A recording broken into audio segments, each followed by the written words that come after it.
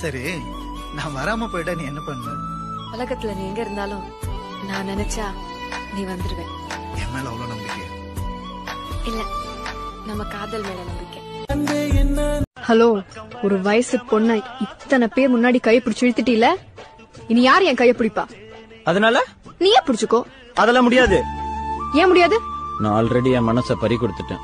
என்கிட்ட தானே? ஐயோ நினப்பு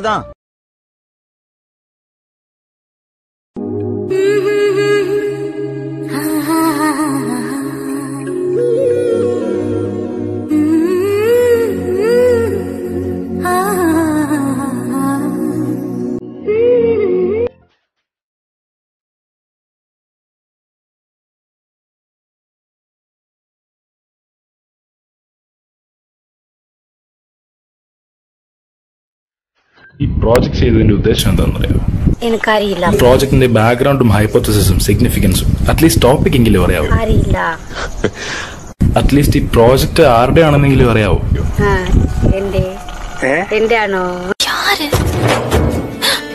என்ன மாப்பிள்ளைக்கு பவுடர் வேணுமா மாப்பிள்ள பவுடர் கூட எடுத்துட்டு வரலையா அவன் கொண்டு வந்திருக்கான் ஆனா அது பழைய ப்ளீச்சிங் பவுடர் மாதிரி இருக்குங்க ஆனா நீங்க போடுற பவுடர் தான் வாசம் ஆள் அங்க இருந்து இழுக்குது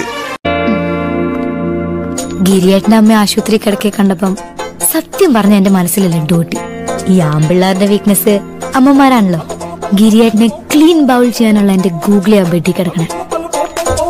എന്നാ പിന്നെ ശരിയടാ. അയ്യോ വെക്കല്ലേ? എന്താടാ? ഒരു ഉമ്മതാടി. അയ്യോ അമ്മയുണ്ടടാ. ആരാടി ഫോണിൽ? അയ്യോ. ആ അത് ഓൺലൈൻ ക്ലാസ് ആവുമ്പേ.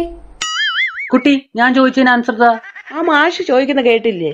നിനക്കത് കൊടുത്തു എക്സാം ഹാളിലേക്ക് കയറുന്നു ക്വസ്റ്റ്യൻ പേപ്പർ നോക്കുന്നു കിളി പോകുന്നു ചങ്കിന്റെ മുഖത്തേക്കൊന്ന് നോക്കുന്നു അവന്റെ ദയനീയാവസ്ഥ കാണുന്നു വീണ്ടും ക്വസ്റ്റ്യൻ പേപ്പറിൽ നോക്കുന്നു. ആ ക്വസ്റ്റ്യൻ അങ്ങനെ തന്നെ ആൻസർ ഷീറ്റിലേക്ക് ആൾക്കാർ എന്ത് വിചാരിക്കാൻ മുണ്ടെടുത്ത് നമ്മൾ ഇറങ്ങിക്കഴിഞ്ഞാൽ നമ്മൾ എന്ത് വിചാരിക്കും അതേ ആൾക്കാർ വിചാരിക്കുള്ളൂ. ഫോർ എക്സാമ്പിൾ നമുക്ക് റെസ്പെക്ട് ഉള്ള ഒരു മനുഷ്യൻ വരുന്നു. നമ്മൾ വേണ്ട ഇങ്ങനെ ഊരിയിട്ടിട്ട് "ഹും, സാർ എന്ന് പറഞ്ഞ് നിൽക്കും ഈ കൊണാണ്ട വേഷം ഇതുപോലെ ഊരി നിന്നാണ്ടല്ലോ ഉള്ള കിടക്കും ഉള്ള. ഇതിലും കൂടുതൽ റെസ്പെക്ട് കൊടുക്കാനുള്ള ഒരു മനുഷ്യൻ വരുവാണെങ്കിൽ നമുക്ക് ഇനിയും കൂടുതൽ റെസ്പെക്ട് കൊടുക്കാനുള്ള ഓപ്ഷൻ ഉണ്ട്. ഇങ്ങനെ വെച്ചിട്ട് സാർ. വേറൊരുത്തൻ ചുമ്മാ ചൊറിയാൻ വന്ന്. അവന്റെ അടുത്ത് നമുക്ക് കലിപ്പുണ്ടാക്കണമെങ്കിൽ. എന്തിനാ? ഇത്രയും ചോദിച്ചാൽ മതി. ഇത് ഹാഫ് കലിപ്പ്. ഇതിലും കൂടുതൽ എസ്കലേറ്റ് ചെയ്ത് കലിപ്പുണ്ടാക്കണമെങ്കിൽ എന്താ മനസ്സിലായില്ലേ? ചെറുക്കൻ വരണ്ടു പോയി. ഡി ഡി ഇത്ര സിമ്പിൾ മാനർസത്തിൽ കൂടുതൽ ഇത്ര എഫക്റ്റീവ് കമ്മ്യൂണിക്കേറ്റ് ചെയ്യാൻ പറ്റുന്ന വേറെ ഏത് ഡ്രസ് ഉണ്ട്? പറ. സമയത്തിന് വല്ലതും ഞണ്ണണമെങ്കിൽ അടുക്കളയിൽ വന്ന് ജോലി. അടുത്ത ജന്മത്തിലെങ്കിലും ഒരു കഴുതയായിട്ട് ജനിപ്പിക്കരുതേ. അയ്യോ രണ്ട് ജന്മവും ദൈവം ഒരുപോലെ തരത്തില്ല മനുഷ്യ. അക്കാര്യത്തിൽ നീയാണ് ഭാഗ്യവതി. രണ്ട് ജന്മം ഒരുപോലെ കിട്ടി? അല്ല നീ ഭാഗ്യവതിയാണ്. പറയുന്നത് എന്തും അനുസരിക്കുന്ന കുതിരയുടെ തലയും കഴുതയുടെ ഉടലുമുള്ള ഈ വിചിത്ര ജീവിയെ നിനക്ക് ഭർത്താവായിട്ട് കിട്ടിയല്ലോ എന്ന് പറയുകയായിരുന്നു. എന്നാ അടുക്കളയെ വന്ന ആ എച്ചിപ്പാത്രമൊക്കെ കഴുകി വെക്കി വിജിത്ത